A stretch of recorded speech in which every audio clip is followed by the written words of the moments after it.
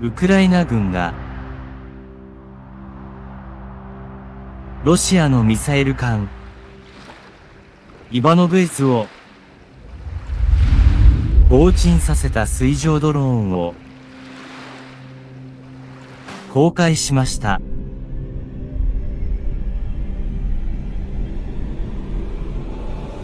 今回の攻撃では、10艇の水上ドローンで攻撃しました。そのうち6艇がイバノブエスに命中し、ロシアのミサイル艦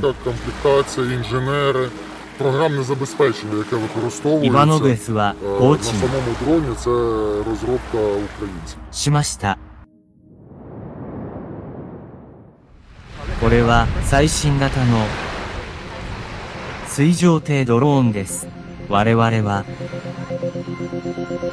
すでにセルヒーコトフ哨戒艦、 А Саме ц- Адміраль. перша ціль була це マカロフフリゲー е, ト、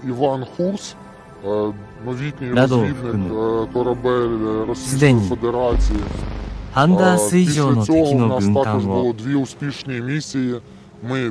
沈めています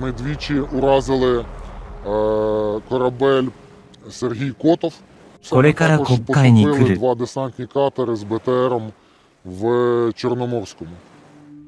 すべての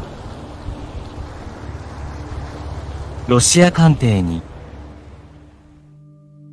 Я думаю, що е, в майбутньому так війни і будуть е, відбуватися. Все йде до того, що будуть битися технології, а не люди. Набагато ефективніше е, навчити оператора, який використає дрон і через 5 хвилин може сісти і управляти іншим дроном. Ну, до флота ми ще не дотягуємо, але ми дуже впевнені